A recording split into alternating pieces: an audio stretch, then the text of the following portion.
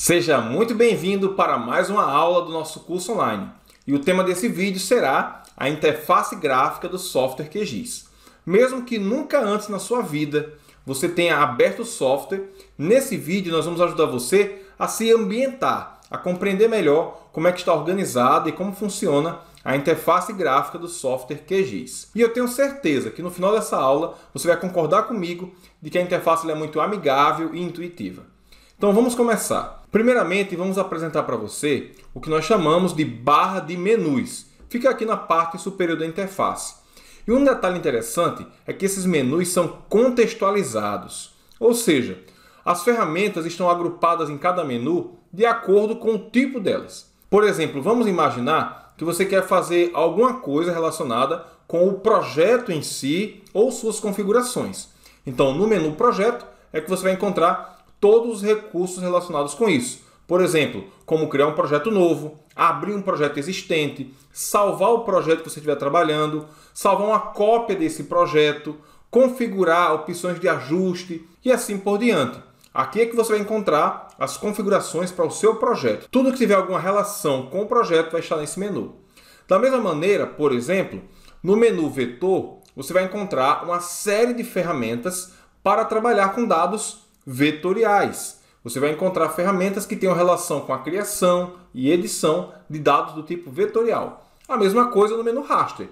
Você vai encontrar ferramentas que são compatíveis com o trabalho com dados matriciais, desde a sua criação, seu tratamento e assim por diante. É aqui que você vai encontrar. Um outro exemplo que podemos dar aqui relacionado com os menus é quando nós trabalhamos com complementos. Dito de uma forma simples, Complementos são novas funcionalidades que nós podemos adicionar ao QGIS através da instalação de plugins ou módulos que são adicionados extra ao QGIS, também de forma gratuita e que são desenvolvidos por outras pessoas ao redor do mundo e que vão compartilhando isso em sites na internet. Então, esse tipo de recursos, complementos, você vai acessar no menu Complementos. Se você quiser, por exemplo, fazer alguma configuração específica no seu software, então você pode ir no menu Configurações. Aqui você vai encontrar configurações relacionadas com o ambiente do QGIS. E assim por diante. No menu Camada, você vai encontrar ferramentas para criar novas camadas, manipular as camadas de diversas formas. Vale a pena depois você consultar. Durante o nosso curso, nós vamos explorando mais a fundo as principais ferramentas de cada menu. Então entendemos o objetivo da barra de menus. Agora vamos falar sobre as barras de ferramentas, que são essas barras que você está observando logo abaixo aqui da barra de menus. O que, é que nós podemos dizer sobre elas? Por meio dessas várias barras de ferramentas, são várias, você vai acessar também muitos dos recursos que estão disponíveis nos menus. É algo interessante que o proporciona porque alguns usuários preferem acessar as ferramentas através dos menus, outros preferem a partir dos ícones dessas barras de ferramentas, e ainda outros preferem através de atalhos do teclado. Inclusive, eu não sei se você percebeu, mas quando nós falamos sobre os menus, vários deles têm uma tecla de atalho. Por exemplo, lá no menu Projeto, para criar um novo projeto, você pode usar o atalho Ctrl N, para salvar Ctrl S e assim por diante. O mesmo acontece com outros dos menus. Sobre as barras de ferramentas, então, como eu havia falado, através delas você também acessa ferramentas que estão nos menus. Mas não é só isso. Através das barras de ferramentas, você também tem acesso a outros recursos que às vezes não estão disponíveis nos menus. Agora perceba como os ícones, em sua maioria, são bastante intuitivos. Por exemplo, quando você olha para uma barra de ferramentas de um software qualquer que seja, e você vê um ícone na forma de um disquete, embora ninguém mais atualmente use disquete, você já sabe automaticamente que é para salvar um projeto, para gravar algo. Então, no caso aqui, salvar o projeto do QGIS. E note que ao passar o mouse por cima, já aparece uma dica de para que serve aquela ferramenta, no caso aqui, salvar projeto, e também muitas vezes, quando é o caso, a tecla de atalho. Você, quando olha para a interface de um software e vê o ícone de uma lupa com sinal de adição ou sinal de subtração, você já deduz que é zoom mais e zoom menos, aproximar e afastar. Então é bastante fácil de você ir aprendendo os recursos de cada ícone. Ainda sobre as barras de ferramentas, um detalhe interessante é que elas são móveis e customizáveis. Como assim?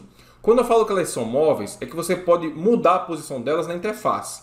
Por exemplo, essa barra de ferramentas aqui, vou movê-la e colocar aqui solta, se eu assim quiser.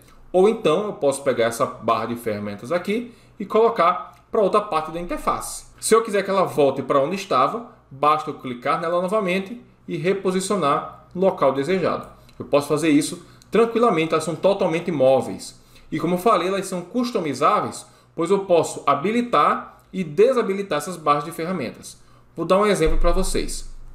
Vocês podem vir aqui em qualquer área vazia das barras de ferramentas, clica com o botão direito e aí você vai encontrar uma lista de barras de ferramentas que estão habilitadas, as que estão com esse tiquezinho marcado, ou então as que estão desabilitadas, que não estão com tique. Eu vou habilitar essa barra de ferramentas aqui, chamada de barra de ferramentas raster, que como o nome já diz, tem a ver com ferramentas para trabalhar com dados raster. Eu vou clicar aqui nela e automaticamente aparece essa barra de ferramentas. Ela está em tom de cinza inativa pelo fato que nós não temos nenhum dado raster carregado aqui ainda no software. Mas você já percebe que foi adicionada facilmente com um único clique a barra de ferramentas raster. Se eu quiser desabilitá-la, mesmo processo. Botão direito em uma área vazia da barra de ferramentas e marco a opção de raster. Eu desmarco a opção raster. Desmarquei, foi ocultada a barra de ferramentas. Veja, ela não foi desinstalada, ela só foi ocultada, foi desabilitada. Vamos passar agora para uma outra área da nossa interface do QGIS, que é o painel de camadas. O painel de camadas é onde você vai ter listadas as várias camadas em um projeto do QGIS. O que, é que você precisa saber desde já sobre esse painel de camadas? É que as camadas, a ordem que elas aparecem, vai ser também a ordem que você vai visualizar na tela, a ordem de sobreposição. Então, por exemplo, se você tem uma camada do tipo ponto e ela está no topo da lista, e você tem uma camada do tipo polígono na lista, está logo na sequência dos pontos, você vai ver os pontos sobre a camada dos polígonos.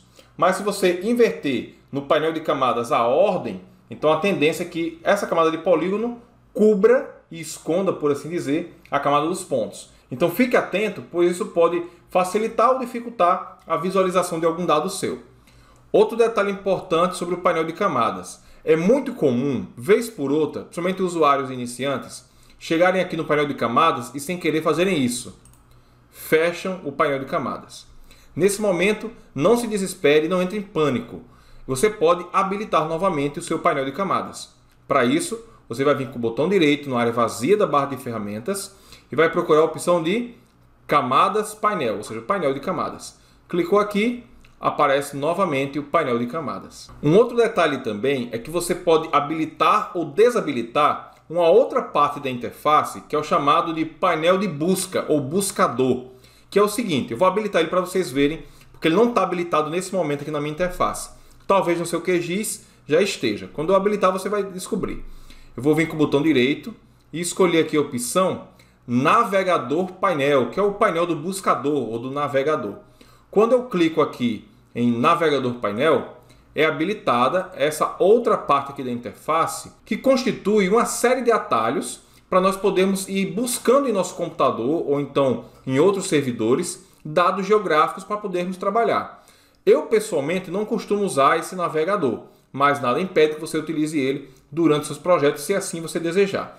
Durante as aulas práticas, eu vou demonstrar também como usa essa ferramenta, mas não é obrigatório nem que você utilize ela e também não é obrigatório você deixá-la habilitada. Você pode fechar aqui e deixar unicamente o painel de camadas, se você assim preferir. Uma outra parte da interface que vale a pena nós comentarmos é essa área maior que você está vendo aqui branca, vazia, que é o painel ou área de visualização do seu mapa. É aí que você vai visualizar nas aulas práticas os seus mapas sendo construídos, você vai observar a simbologia, talvez algum rótulo para identificar as feições e assim por diante. É aí que você vai ver o mapa sendo desenhado. Mas um detalhe importante é que não é aí que você vai ver os elementos cartográficos. Ou seja, não é nessa interface principal do QGIS que nós vamos inserir norte, escala, legenda, grade de coordenadas ou algo do tipo. Não. Isso nós vamos fazer em uma interface secundária do software QGIS, que é o compositor de impressão.